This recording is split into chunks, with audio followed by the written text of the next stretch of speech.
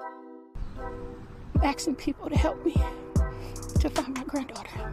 I've had dreams of Wynter, um, so I think I, I was feeling something. Um, I, I, don't know why this happened. Um, I just believe that something good can come out of this, some something that could just show the faith and how it works. So we're talking about Wynter Smith, two years old, abducted from her home in Lansing. And then that is the last anyone has seen of her. Now, we can tell you that in addition to this, the suspect, the man who is believed to have kidnapped her, he is in police custody. Also want to talk about her mom, who is uh, in stable condition right now, but in a hospital because police say that the suspect, uh, before abducting her child. And we also want to point out, too, that he is the ex boyfriend of the mother, but police say he is not, and I want to repeat, not the father of this child.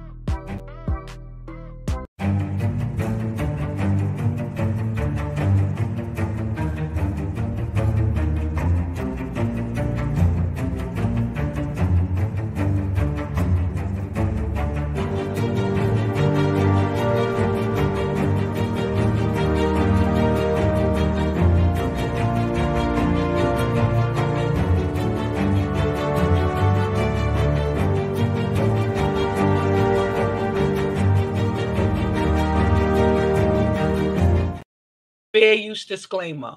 The copyright laws of United States recognizes a fair use of copyright content. Section 107 of the United States Copyright Act states, notwithstanding the provisions of sections 106 and 106A, the fair use of a copyrighted work, including such use by reproduction, in copies or phone records or by any other means specified by that section for purposes such as criticism, comments, news, reporting, teaching, including multiple copies for classroom use, scholarships, or research, is not an infringement of copyright. This video and YouTube channel in general may contain copyrighted works that were not specifically authorized to be used by the copyright holders, but which we believe in good faith are protected by federal law and the fair use doctrine for one or more of the reasons noted above.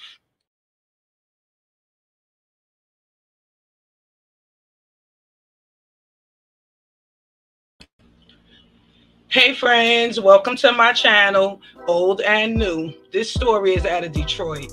This monster, an evil, creepy looking devil y'all see on your devices is 26 year old Rashad Maleek Trice, who got into an intense argument with his girlfriend, Symari Cole, that led to him brutally assaulting her with the kitchen item. Symari Cole ran out of the house to get help and that this monster decided it would be a great idea to kidnap her two-year-old daughter, Wynter Smith. Um, he stole Symari's car that led to a police high-speed chase, and once captured, baby Wynter was not in the car. That called for an Amber Alert, and sadly, after three long days, y'all, two-year-old Wynter was found in the Detroit alley. Listen to this. Fox 2 article reads Rashad Trice, the man accused of kidnapping Wynter Cole Smith, is facing federal charges stemming from the girl's disappearance and unaliving her. Trice, 26, was charged federally Friday with kidnapping a minor and kidnapping kidnapping resulting in unaliving. The statutory mandatory minim- minimum for kidnapping result in unaliving charges is life in prison. He is accused of taking the two-year-old from Lansing on Sunday after attacking her mom. Trice was arrested in St. Clair Shores on Monday after fleeing the police and crashing the car he alleged allegedly stole. When he was caught, Wynter was not with him, prompting an Amber Alert. Wynter was found Wednesday night in Detroit in a Detroit alley after um, phone location data led investigators to that area. The allegations in this case are heart wrenching, um, said the U.S. attorney. Trice has previously been charged with assault, with intent to unalive, two counts of criminal S conduct, home invasion, unlawful imprisonment, domestic V, unlawful driving away, and felonious assault. He hasn't been charged in connection with Wynter's unaliving yet, but more charges could be coming. Our top priority is to get justice for Wynter and her family, um, said the police department.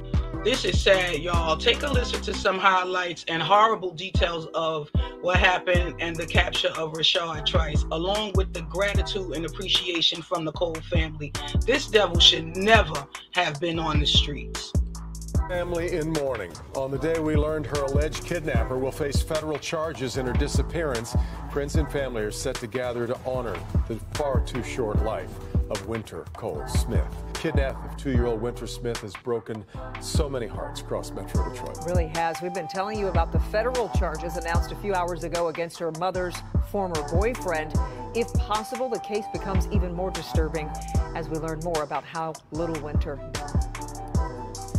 Kimberly, it's awful. Uh, I want to show you what's happening behind me. Wynter's basically paternal family is out here prepping for a vigil. We're going to take you to that as soon as that starts in a little bit. Um, but I've talked to her grandmother, her paternal grandmother out here tonight.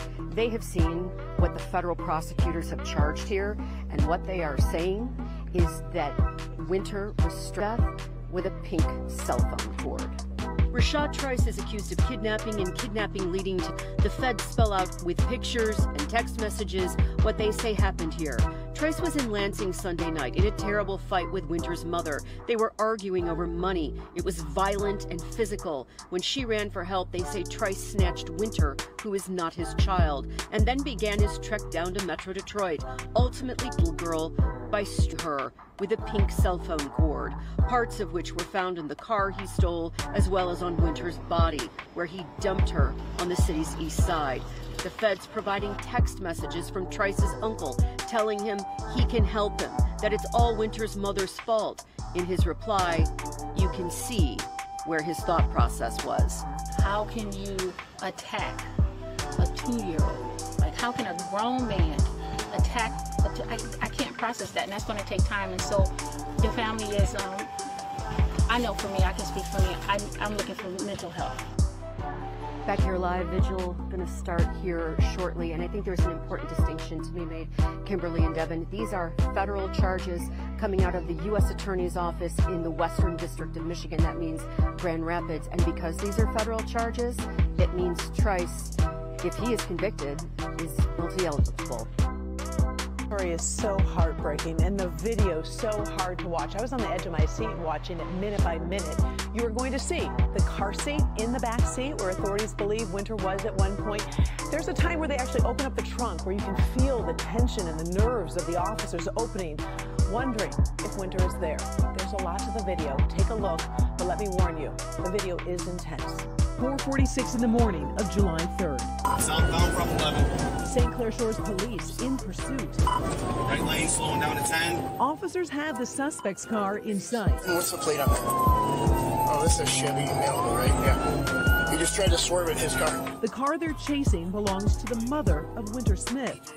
Wynter is missing, and police are in a frantic search to find the two-year-old. 6098, yep, that's it. It's at Maple and Little Mack where the suspect crashes into a police car and comes to a stop. Hands up! Bleeding from the crash, officers pull Trice out of the car. Keep him on him, dude. Hey, hey, whoa, whoa. Get your hand behind your back. Now!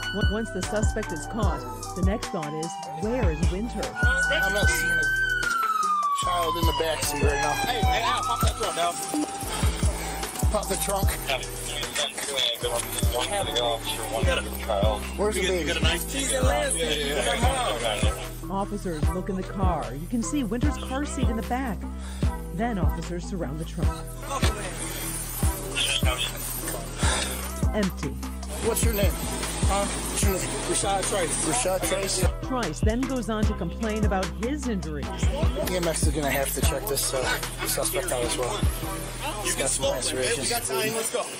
Y'all just tased him about five times. Yeah, well, you're fighting. Walk. Let's go. Walk. he was veering toward the oncoming police car. Okay. Started taking off at a high rate of speed again southbound. So he and Ely were coming this way. He veered this way. Ely hit him this way. Okay, so he pulled. There was no way Ely could have avoided that. He refused to get out of the car. He had to bust out the window. Um, he tried to grab East Point. Got him out. Got him cuffed. So two people in the car? One. I just said that. No child. No child. Meantime, back at the curb, officers check on Trice. Other than being involved in a decent car accident, are you okay? Your eyes hurt, your hips hurt. Okay. We're gonna get you treatment, we're gonna get you to the hospital to get looked at, okay? Fair enough? Do it look like I'm be okay? I think you will be. You got a long, long road ahead of you. But you'll be okay. And then, these words. I can't say so. I can tell you now. Police did search the vehicle. They found a pink cell phone charging cord on the floor of the car, consistent with portions of a pink charging cord found near Wynter's body. According to the complaint, Wynter's regulation, we're still waiting for a final report.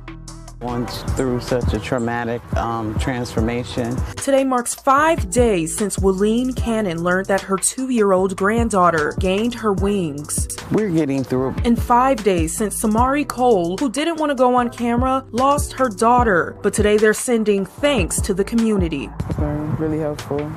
Um, and thanks for everyone who came out to help to look for Wynter. They also wanted to thank this person, Sadie Pingle. I'm really, really thankful that I could be there. She lives nearby and helped save Symari Coles' life on that tragic night. If it wasn't for her, I probably wouldn't have had my daughter alive either. Having never met before, she saw Wynter's mom running for help the night of July 2nd when police say she was stabbed and sexually assaulted by 26 year old Rashad Trice. Trice is also accused of kidnapping and two year old Wynter, dumping in an alley in Detroit. It's shocking, but my thoughts were just to, you know, get help. Pingle jumped into action by calling police and driving her to the hospital. She was hurt and her babies needed help, and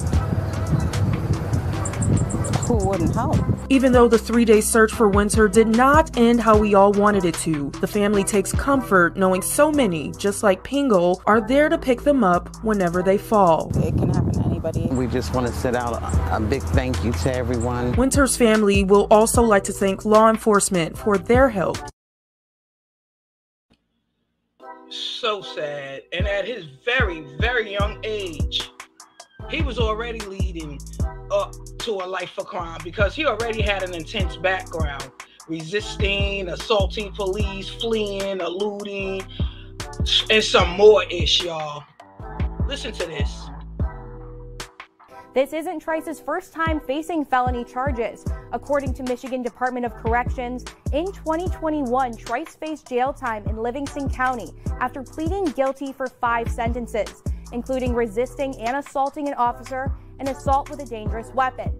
And after speaking to the Livingston County Sheriff, he says with past charges like this, it shows Trice doesn't obey the law. I mean, at what point do you say uh, enough's enough? And from what I understand about this particular guy's criminal history, that probably should have been a while ago. Livingston County Sheriff Michael Murphy says he's all about giving second chances, but sometimes people like Rashad Trice continue a life of crime. This is a person that uh, doesn't conform to societal norms. Trice faced a year in Livingston County Jail for assault with a dangerous weapon, resisting and obstructing a police officer, and fleeing and eluding.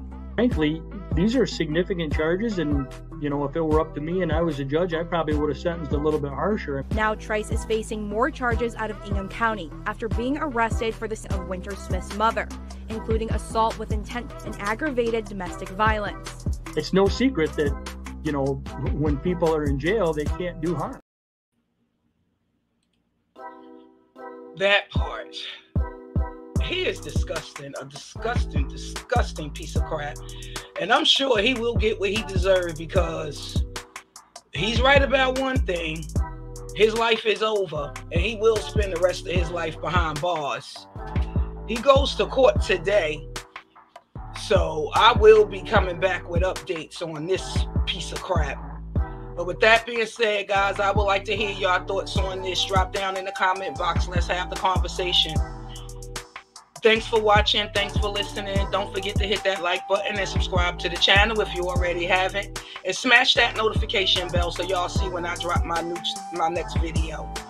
Stay blessed. Peace.